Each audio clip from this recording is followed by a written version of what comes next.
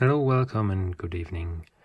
And today I want to handle a topic that I get asked uh, quite a bit, and that's the question of what can I actually do with a Raspberry Pi. I mean, um, most people probably know it's a computer. You can do basically anything you want to do with it, but most of us already have a laptop or a desktop PC or something like that.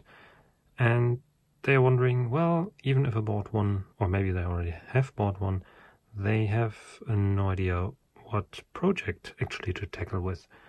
And I think there are a few things that are interesting to almost everyone who uses a computer, and I'll show those.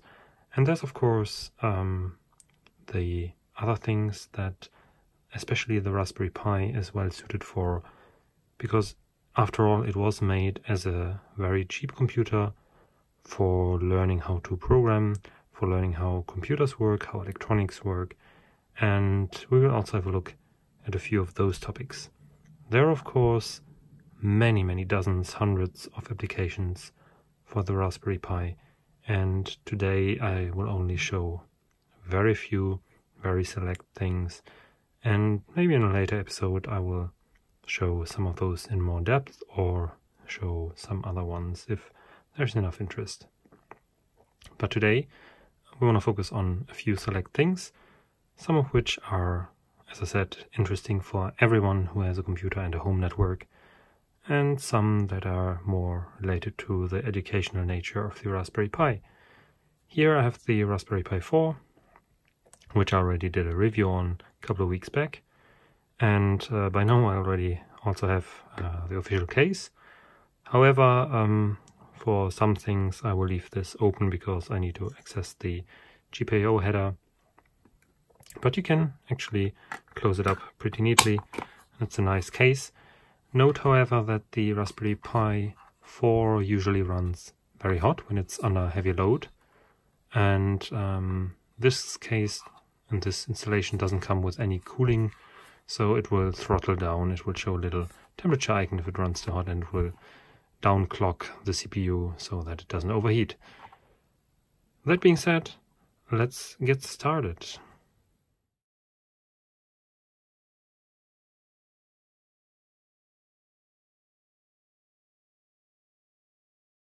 The first thing that we want to try out is Pi-hole.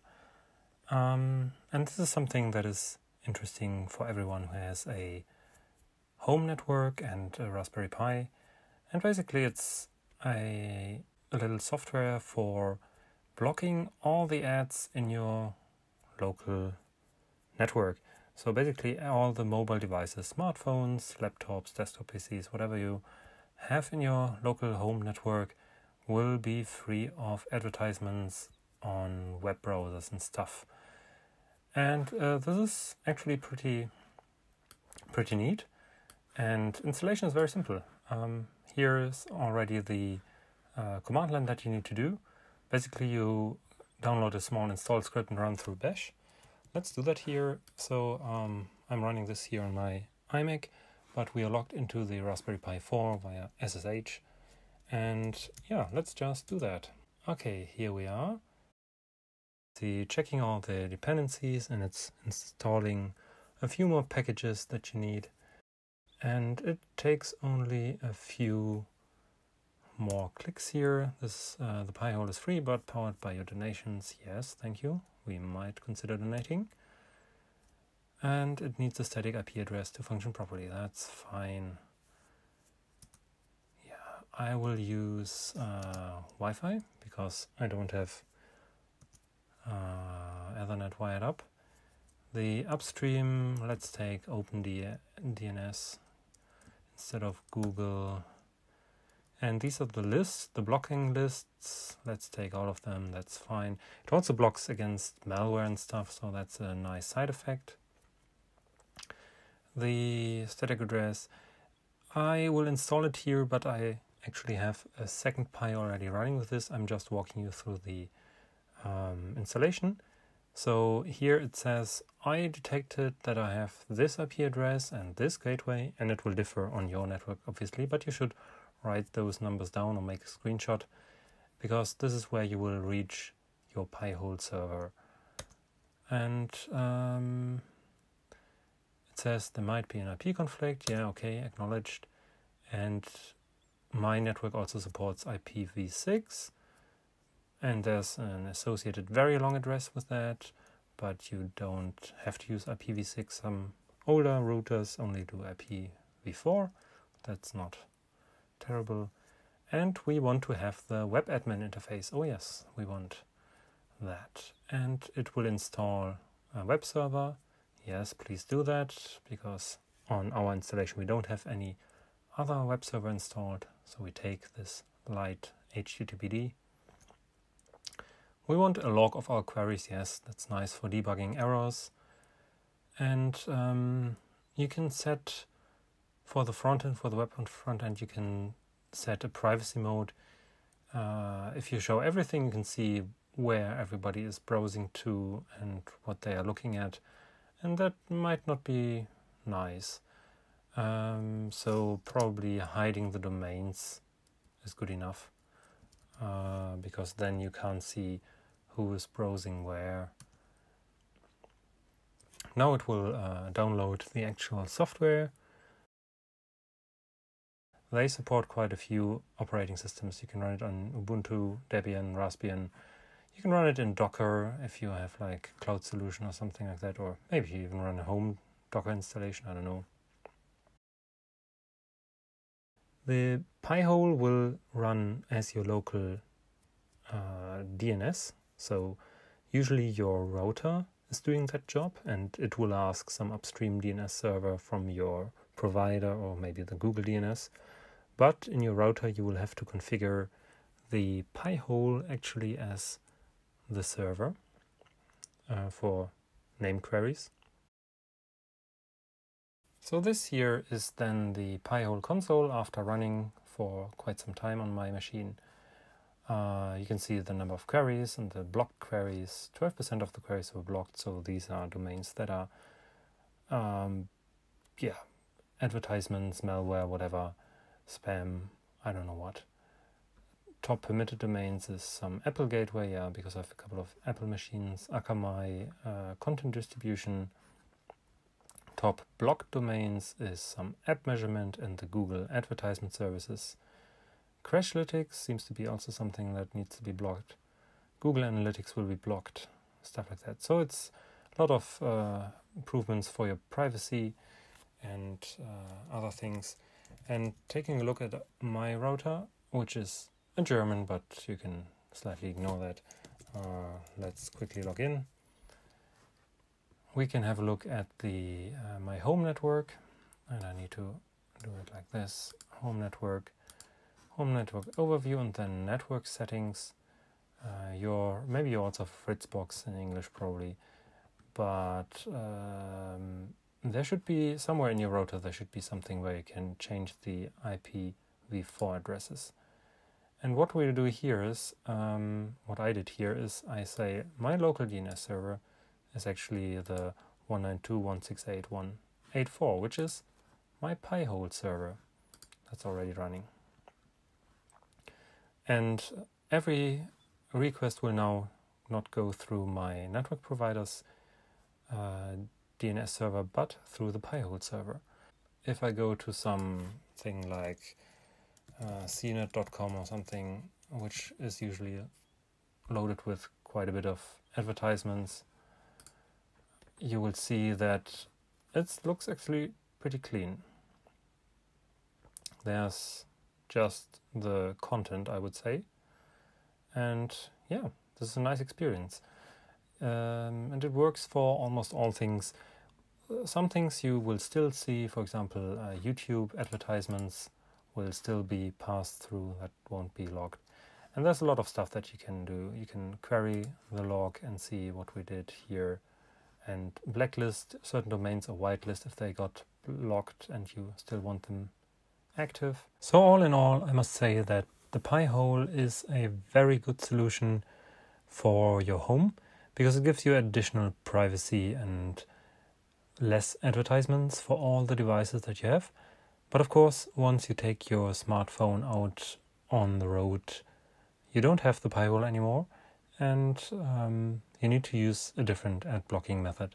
But for all the devices at home, this is actually a very good idea, and it's very easy to install. The only major thing that you need to do is change your DNS entries either manually in every device or via your router. So that's it for the Pi-hole. Let's look at the next thing to do with your Raspberry Pi.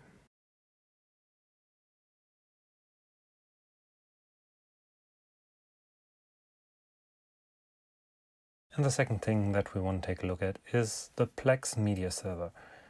Plex is a streaming video, music, and general media server which allows you to stream movies or TV series or any other kind of media from a server, here our Raspberry Pi, to mobile devices or your TV or uh, maybe even desktop PCs, whatever you like. There are commercial solutions similar to Plex, and Plex is also available for other platforms, uh, Windows, macOS, and also certain network attached storage devices. But of course, we want to do it the Raspberry Pi way, and I already got one Plex server running here in my network. We're using it to watch uh, a lot of DVDs because we don't have a DVD player attached to our TV. So I basically just copy the DVDs over to the Raspberry Pi and then I can watch those things, uh, mainly for the kids. A lot of old kids' TV series and movies are cheaply available on DVD. Other stuff we watch on the usual streaming services, but um, this is especially good for things that are not available via streaming, and there are quite a few of these, uh, mainly retro stuff like. Uh, Young Indiana Jones, Captain Future, The Snorks, stuff from our childhood, and of course, being a retro channel here, I'd also like to watch the old TV series, which are not always available. Um, Plex allows you to watch also stuff like web shows, uh, news, content, podcasts, and all kinds of things. Uh, even ties into Tidal, which is a music streaming service, which is, I think, not that popular, not as popular as Spotify or uh, Apple Music, for example, but still um, a very nice thing to have. And we want to see how to set it up on the Raspberry Pi. So here on the left, I'm connected to our Raspberry Pi 4. And basically you go to plex.tv, which is the main site.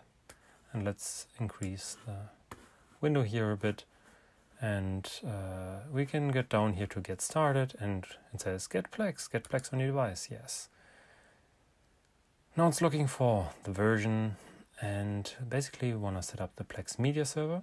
It detected that I have a Mac, but actually I want to install it on a Linux thingy. So what can we choose here?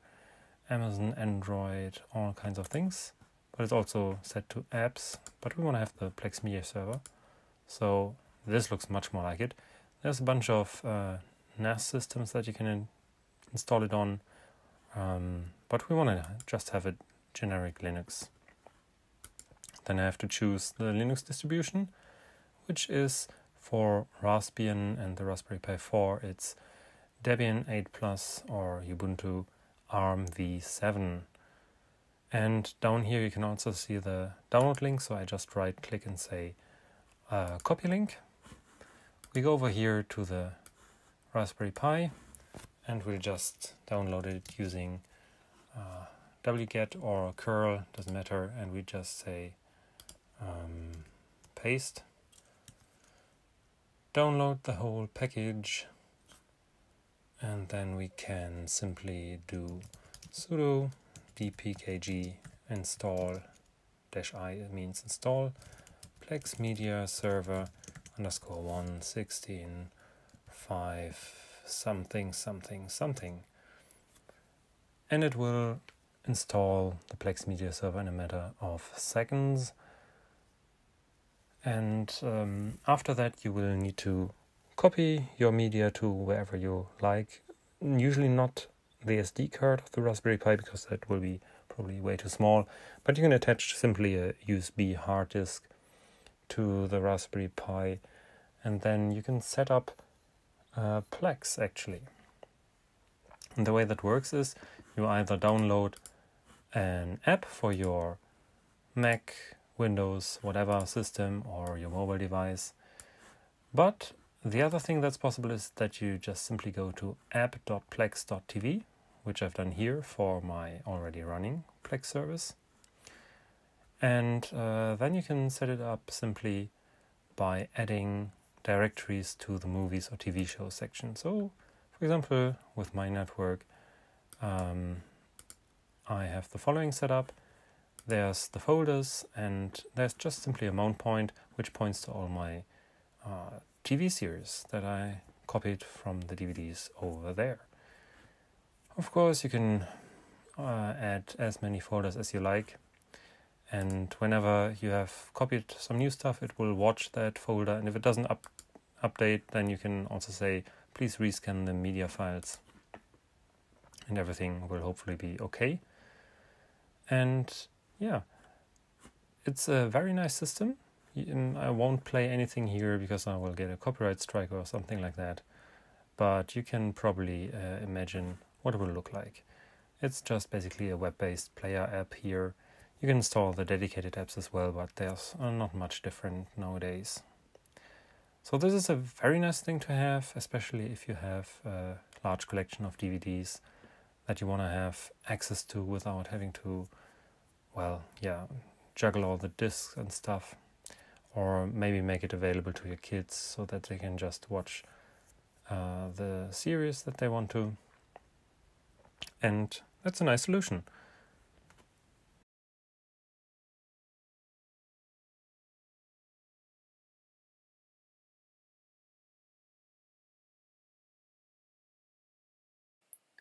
Okay, the third and last thing I want to show you today is how to do retro games.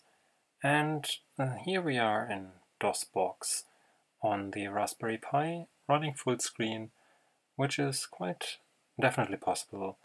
And uh, we are quickly installing Little Big Adventure from a CD image that I pulled from the CD that I got the other day.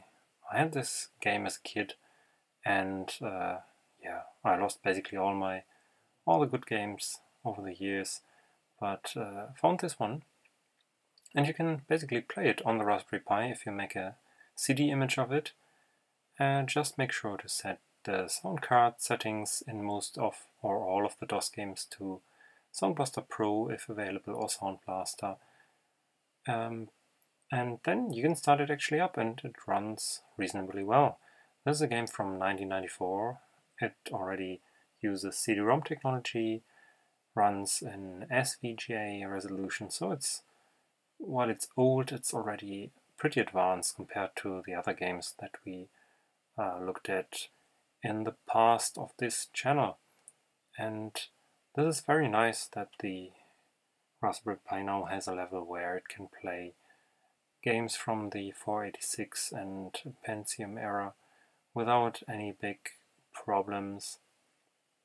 So as you can see the animations are as smooth as they would be on the 486 or Pentium. This is of course an ancient game. It's now 25 years old and uh, it has aged of course a bit but uh, still this is quite a demanding task to uh, simulate a whole PC from that era with all the nitty gritty details. But this is definitely something that you can check out if you are not willing to spend a lot of money in building your own retro PC from the time. Because, well, nostalgia is nice, but uh, not everyone can build their own retro PC because it can cost quite a bit of money, obviously. So the alternative would be to run DOSBox, and why not on the Raspberry Pi? So you can just put it next to your TV, uh, attach it to it, take a mouse and a keyboard, and start playing the old games that you probably played also in your youth. One thing that I noticed here is some games like Little Big Adventure will have problems when running full screen in the standard configuration of the Raspberry Pi. As you just saw, the text is not always smooth when it's scrolling in. This only happens in full screen mode because uh, when we switch to windowed mode, as I will do in a few seconds here, it's actually pretty smooth. So there are definitely some problems with the graphics driver and here you can see it, it stutters in and uh, when you switch to windowed mode it will uh, goes all very smoothly. There is an experimental OpenGL driver for the graphics interface which makes everything run smoother, but it has some other minor issues. For example, I can't capture that one uh, with my device, so I switch to the standard driver. The next thing apart from DOSBox that you can do and what we'll be looking at here is uh, ScummVM for playing adventure games. And of course there's a ton of more emulation things like RetroPie, etc. Some of which are not yet ported to the Raspberry Pi 4 hardware. But ScummVM and DOSBox run pretty well because they are pretty far removed from the actual accelerated stuff like OpenGL, etc. They probably use it for scaling and some things. ScummVM you'll probably know, it supports all the LucasArts and Sierra games and a ton of other adventure games. And the advantage is that this runs basically natively without huge emulation layer like DOSBox. So it might be faster, but there might be other problems because parts of the game engine might not be implemented completely. But for the standard games like Indiana Jones, Space Quest or Monkey Island, this should be actually pretty well supported there all in all. And this is of course always a nice thing to have. And uh, again, the Raspberry Pi allows you to play all this stuff from the comfort of your sofa and TV without having to set up a laptop or anything like that. You can of course use a tablet, an iPad or something like that, but if you're using a Raspberry Pi and you bought one, you're probably a tinkerer and you like to run these things also on very tiny and exotic machines and situations.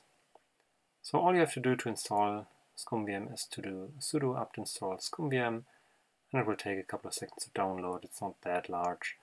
And afterwards, in your start menu on the Raspberry icon, you will find on the games menu a new icon called ScummVM. You can just fire it up. And then you can uh, install a couple of games, which I already did here, and switch to full screen mode with Alt Enter, I think, um, because otherwise the window is probably too small for you. And then you can simply run a bunch of games. For example, Indiana Jones, which just had its 30th anniversary, and which is of course a classic that you definitely should check out if you haven't ever played it. Especially if you're a fan of the Indiana Jones movies, at least the first three ones, because the fourth one obviously doesn't count. But not only LucasArts games are supported, also Sierra games uh, are supported, and it supports both the AGI and the SCI game engines, and on top of that there's a couple dozen more adventure games and engines that are supported from minor players in the adventure game industry. So definitely check out what kind of retro games you can do on your Raspberry Pi if you're into that kind of thing.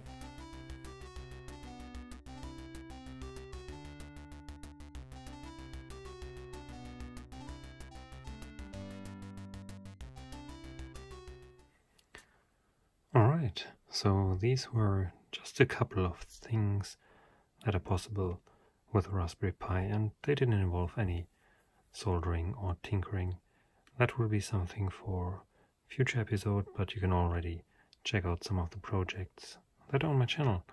So because there's like a million things that you can actually do with it, but I think these are actually pretty practical things that everyone with a home network and some interest in entertainment and stuff and privacy and security can actually get to run very easily or quite easily and um, for basically free because that's all open source software that we showed on your Raspberry Pi. And, well, one last note as many already noted, and there's a ton of videos and reports out there, the Raspberry Pi 4 actually runs really, really hot, even in the standard idle configuration, so I can't almost put the lid on the official case without it overheating and throttling down. Um, this will be probably something that I need to address in a future video, what cooling solutions there are, and uh, let's see if maybe some Linux or firmware updates will alleviate that maybe by downclocking it further or similar things or I don't know. Let's see, but still it's a very nice and extremely powerful machine by now. So definitely check it out and have some thoughts about what you can do with it. And that's it for today. I would like if you would subscribe or leave a comment or share or dislike or whatever. Um, but I would be very glad if you interacted with me in some way here and hopefully see you back for the next video. So have a nice evening.